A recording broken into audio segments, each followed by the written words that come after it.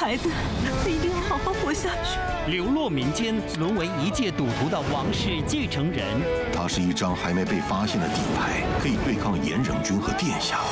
这姑娘，我决定了，我要娶她为妻。我们来赌一把，姑娘你会成为我的女人。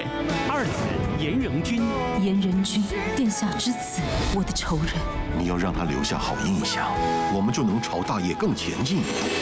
你这个混账！不准用这种眼神看我的女人，她是我的。手足的命运就此交缠。大扑王的守护者。